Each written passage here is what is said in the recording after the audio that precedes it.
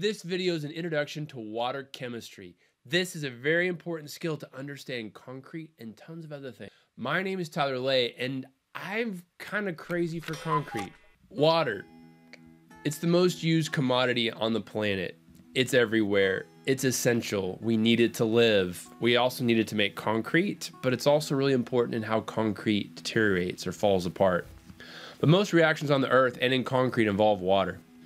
And when things are mixed into water, this is called an aqueous solution. And these aqueous solutions are really important to understand.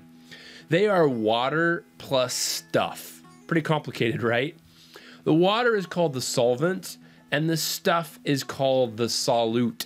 This could be a solid, this could be gas, this could be a liquid. A lot of my examples today are going to be with solids. They can apply to anything though. This could also be done with a gas, also could be done with a liquid. These materials become mixed at a very intimate level, at a very, very, very close to one another. These can be atoms, molecules, or ions. It really depends on the situation. So why is water so good at this? This is what water looks like on an extremely small scale, at least idealized. It's got a negative oxygen on one side and it's got two hydrogens that are H pluses on the other side. It's got these very loose bonds. It can move around and and change. It's extremely flexible. And because of this unbalanced charge, the water molecules can pull on other compounds. And this unbalanced charge, it's also called a polar molecule. When you have billions of all of these water molecules pulling in one direction, you can make huge forces. When they get together, they're like the angry mob.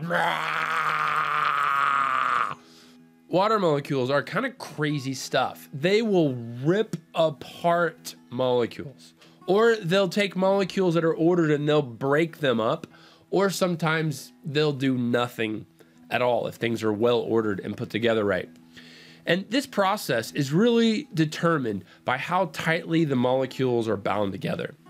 And it also depends on their structure and it also depends on the charge. So it's kind of complicated. Let's start out with something that's simple. Let's start out with salt. Salt is just sodium chloride, NaCl, Na plus, Cl minus. It's ordered in a cube structure that looks something like this. You got your sodiums, your chlorides, your sodium and chlorides. Everything's balanced. Everything is great. Salt is happy when it is a solid. Now, if we're going to take our eye though and look at it, instead of looking at it in 3D, if we just look at it in 2D, we would see our sodiums would look like this, our chlorides would look like this. It looks something like this. Now, if we take our salt and we throw it in some water, it's going to look like this. So this is the container.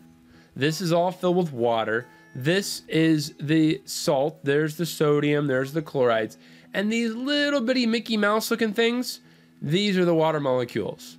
H plus on one side, O2 on the other. Plus on one side, minus on the other side. So here we go. We got our Na plus here, and what happens? We got our minus charge, or minus charge, or minus charge, and they're like, oh, they're hugging it. They're like grabbing it. They're like, mm, I want it. I want it for myself.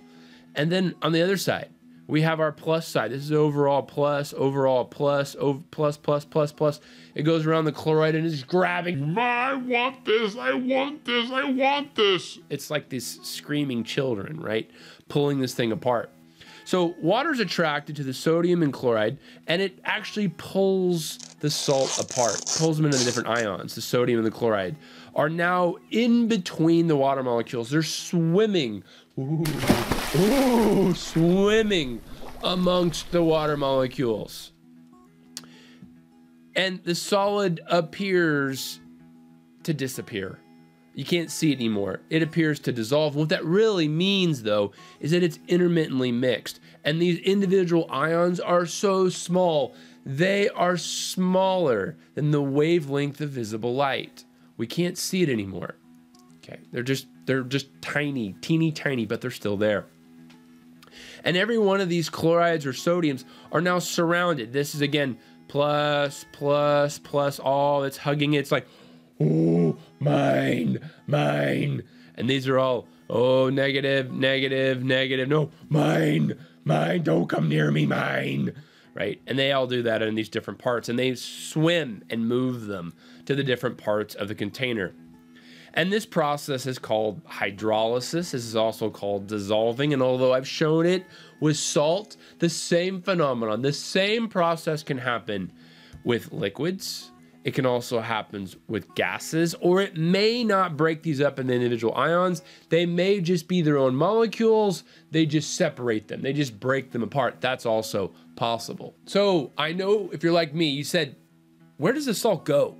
Where I, I don't see it anymore. Where, where does it go? Well, the salt, at least the ions, are still there. They're just intermittently mixed so well we can't see them anymore. But how do we know it's still there? How do we know it didn't go someplace else? Well, we could drink the water and you can taste it on your tongue. Your tongue is extremely sensitive. And it's like, yeah, that's that's different. I taste something different. Well, we could also evaporate the water out boil all the water off, and at the very, very bottom, we would have a salt crystal, a perfect, perfect salt crystal that's down there. But we could also add something else to the water, and the salt could actually react with it. It may form some other product. And this is a huge deal. When things are intermittently mixed together, it's much easier to get them to react. And that is why water is such a big deal. It breaks things down. It makes them easier to mingle or mix. And then other reactions can form. And then they may stay within the water or they may fall out and be solids. So, what happens if we keep adding salt? Well, we could keep pouring salt in, keep adding it again and again and again and again, and eventually the water can't hold anymore. The water molecules, they just can't hold any more salt.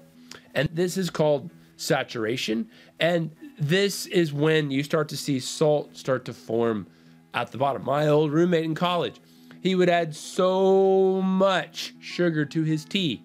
His literally, he knew he was done adding sugar when there was a layer of sugar at the bottom of the tea. And then he would mix it, mix it, mix it. Because what's mixing do?